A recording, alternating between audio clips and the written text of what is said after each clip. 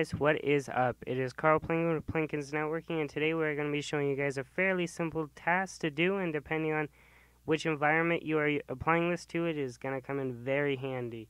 Now, today what we're going to be showing you guys how to do is how to allow remote desktop automatically so that you don't have to go to each and in, each and every computer and enable this manually because depending on if you're in a home even if you're in a home environment nowadays or in an enterprise environment you know you you you generally have more than two or three computers and going under each computer enabling enabling this can be kind of a hassle so what we're going to be showing you guys today is how to enable that with group policy automatically now what this is going to do is going to make it so that your users on your network can connect to your to their work machines from home or your home users can connect to their home machines from school if they have to get a homework assignment or something like that.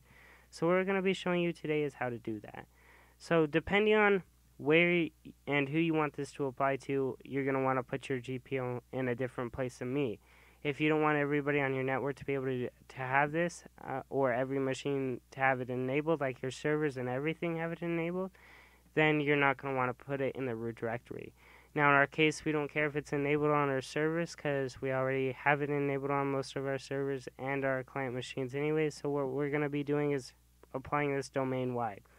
So in our case, we're going to be putting DW for domain wide underscore RDP. For those of you that don't know, RDP stands for Remote Desktop Protocol.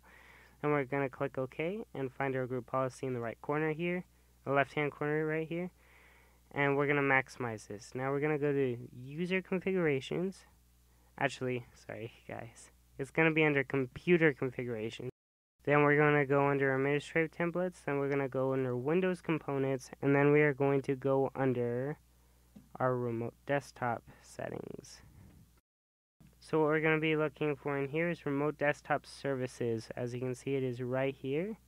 And then we're going to want to go to remote desktop session host once you're under here, you're going to want to go to connections. And then after connections, we are going to look for allow or restrict remote desktop.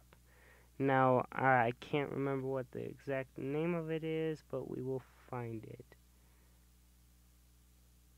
Okay, first of all, limiting the number of connections. Now, some of you may want to do this. Some of you may not want to do this. Now, in our case, we are going to do this. We're going to uh, limit it to 8.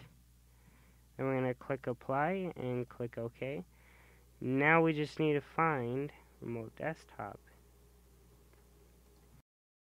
Okay, and sorry guys, it was pretty obvious obvious where it was. So we're going to click on allow users to connect remotely using remote desktop services. Now we're going to click apply here, I mean enable here, and click apply there. That is all for today's video, you guys. If you liked the video, then make sure to share it with your friends. Comment below. Give it a, a thumbs up.